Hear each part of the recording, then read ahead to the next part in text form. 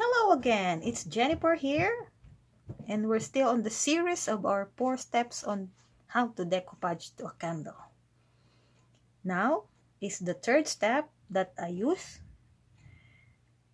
and I'll show you what the things we need. The floral napkin. I cut some images from the floral napkin. And of course, we need a candle and then we need the wax paper or parchment paper. And we need a heat gun. I use this heat gun to to melt the wax in the candle. Now let's get started on how to do it. It's this one is easy to if you have a heat gun. You just grab the image that you cut from the napkin and put it on the place wherever you want to put it. And then you just wrap it with a wax paper or parchment paper and leave it on the spot where you want it and then hold it so the image stays in place. Of course, you need now the heat gun you turn it on.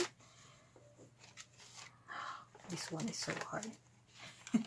I don't know how to hold this.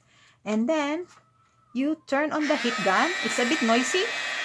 And then you just put it through your image.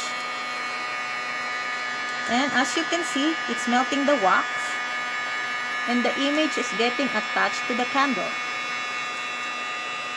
Now, if you're done with it, you turn off the heat gun and then you just check if your image is on your candle. Let's see. Look at that. Now, your image is on the candle. It's just that simple. But you need to have this kind of material or equipment called the heat gun. You can buy it on craft store or you can buy it on hardware store, the heavy duty one, but this one is from a craft store. So that's it. You just attach your image to a candle and now it's decorated with flower. So that's our third step, decoupaging onto a candle using a heat gun. The simple step.